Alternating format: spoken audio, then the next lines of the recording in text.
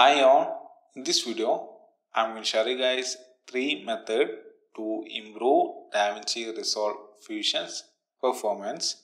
So let's jump into this video. For the first method, we need to disable some settings.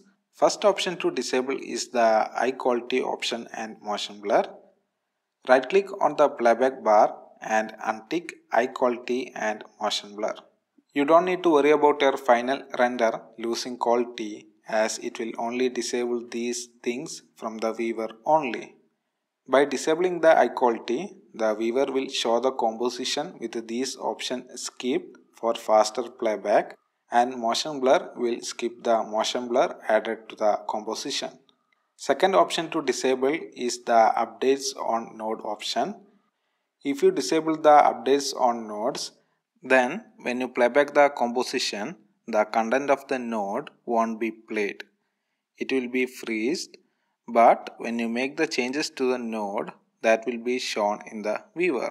To disable the updates option, I right click on a node and choose mode and untick updates. Second method to improve the performance is to use the proxy option. Right click on the playback bar and enable proxy. Proxy means what you see on the viewer will be of lower quality. That is, if your composition is full HD composition, then after enabling proxy on your viewer, you will still see the same resolution, but the amount of pixel rendered for this resolution will be lower. So it will improve the performance of Fusion. To control the proxy quality, head over to Fusion, Settings, General, Proxy on the standard, you can control the slider.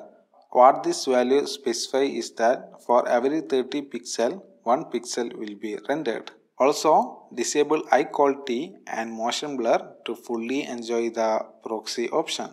Third way to improve the performance is by using the caching options. I made a separate video about different type of caching that you can do on Fusion. You can follow that video to fully understand the caching method. Simply, you can use cache to disk or saver node option to improve the Fusion's performance.